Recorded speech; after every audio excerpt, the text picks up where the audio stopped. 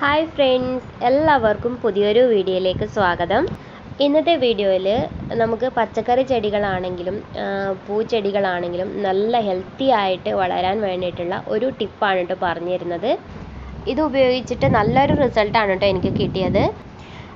എന്റെ പച്ചക്കറി തൈകളാണെങ്കിലും flower plants ആണെങ്കിലും ഇത് ഉപയോഗിച്ചതിന് ശേഷം നല്ല ഹെൽത്തി ആയിട്ട് വന്നിട്ടുണ്ട് കേട്ടോ നല്ലൊരു വളവും കൂടിയാണിത്.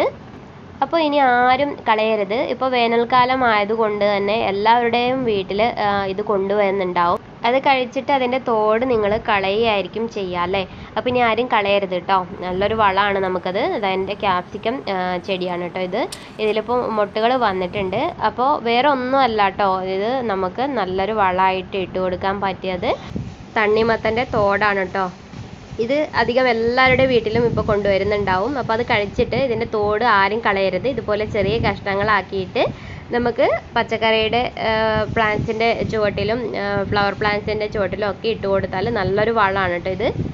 നല്ല തണുപ്പും നിൽക്കും ഇത് ഇട്ട് കൊടുത്തതിന് ശേഷം എന്റെ പ്ലാന്റ്സ് ഒക്കെ നല്ല ഹെൽത്തി ആയിട്ട് തന്നെ വന്നിട്ടുണ്ട്. ചെറിയ ചെടിയിൽ തന്നെ മൊട്ട് വന്നിട്ടുണ്ട് കേട്ടോ. ഇതിപ്പോൾ ക്യാപ്സിക്കത്തിന്റെ തെയ്യാണ്. ഇതിൽ ചെറിയ ചെടിയിൽ തന്നെ മൊട്ട് വന്നിട്ടുണ്ട്. ഞാനത് പിന്നീട് ഡീറ്റെയിൽ ആയിട്ട് കാണിച്ചു തരാം നിങ്ങൾക്ക്. ഞാനിത് ഇതുപോലെയാണ് ചുവട്ടിലേക്ക് ഇട്ട് കൊടുക്കാറുള്ളത്. ഇത് ഇതുപോലെ ചുറ്റിലും ഇട്ട് കൊടുക്കും. കുറച്ച് കട്ടിയിൽ തന്നെ നമുക്ക് ഇട്ട് കൊടുക്കാം കേട്ടോ. ഒരുപാട് പ്ലാന്റ്സ് ഉണ്ടെങ്കിൽ കുറച്ച് കുറച്ചായിട്ട് ഇങ്ങനെ ഇട്ട് കൊടുത്താലും മതി.